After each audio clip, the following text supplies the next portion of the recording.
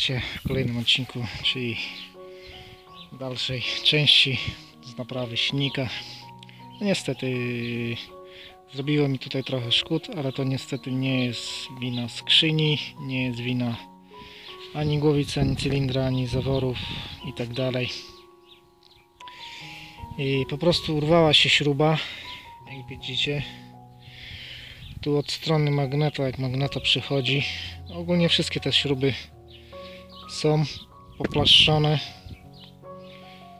Dwie jeszcze się działy akurat, ale już też były bardzo luźne. Jedna się urwała, wyleciała i narobiła mi tutaj szkód, gdzie jest po prostu mm, stator z cewkami. Wszystkie cewki są po, po, poprute, wszystkie zwojenia są a, porozwalane i tak dalej. Połamało nawet kawałek tam plastiku. Plastik po- poplaszczyło no, na tym statorze. No i tutaj jest taka przeciwwaga, ona przychodzi.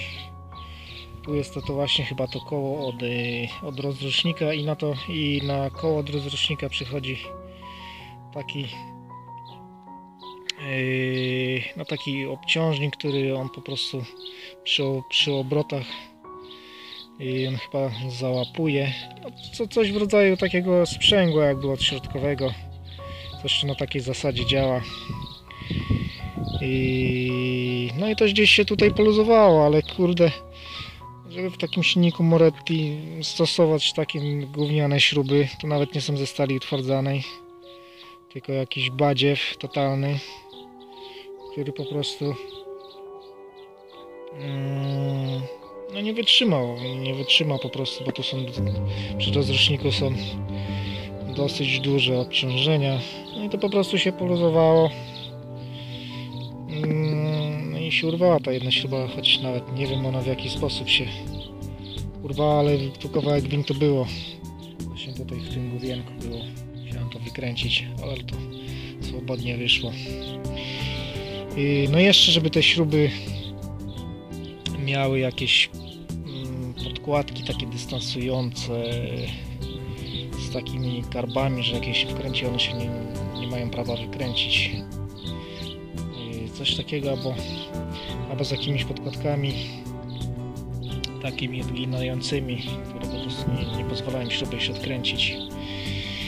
I no nie wiem, ja poszukam na Allegro takich śrub, ale z tego materiału C4, czy jak to się tam nazywa, takiej utwardzanej stali i po prostu je wymienię.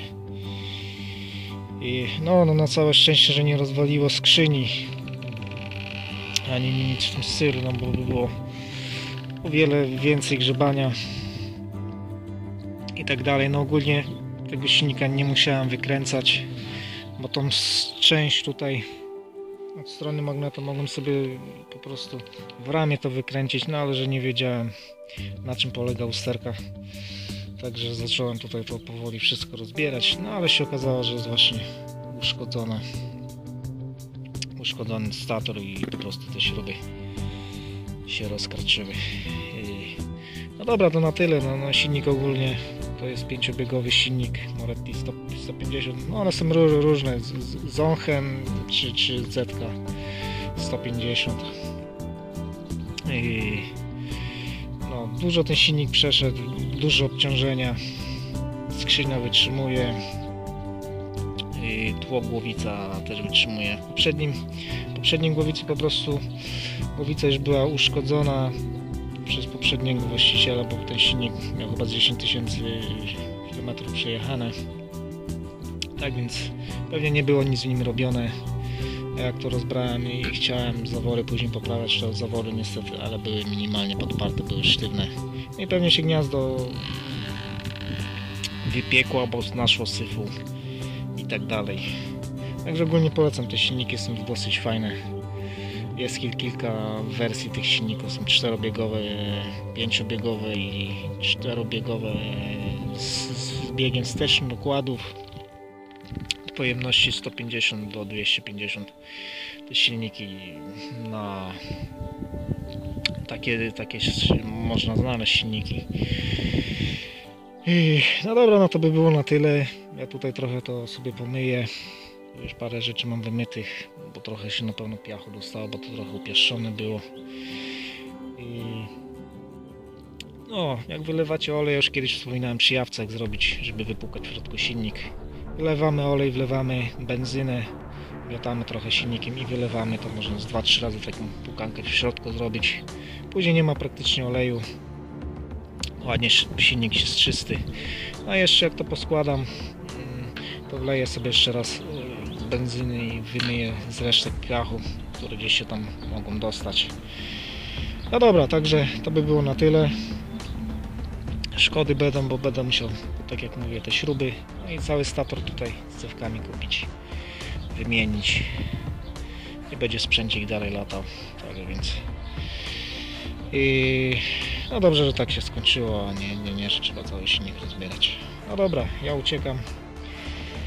Pewnie zajdzie mi do wieczora składanie z tego i, tak dalej. No dobra, także trzymajcie się, no i czekajcie na kolejny film. Na pewno jeszcze będą niejedne filmy z garażu i tak dalej. Dobra, spadam. Cześć, trzymajcie się.